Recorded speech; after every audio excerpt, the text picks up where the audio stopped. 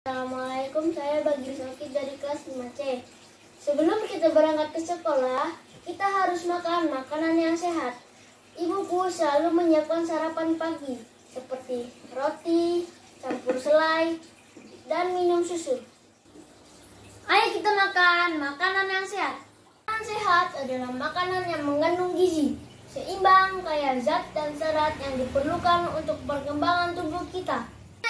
Kita harus perhatikan makanan yang kita makan.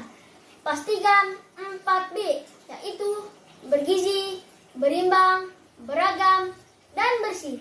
Pastikan makanan yang kita makan berguna untuk pertumbuhan badan, seperti pisang, pir, dan anggur sebagai vitamin. Tahu, tempe, dan telur sebagai protein. Nasi dan singkong sebagai karbohidrat. Jangan lupa minum air putih sebanyak 8 gelas dalam sehari.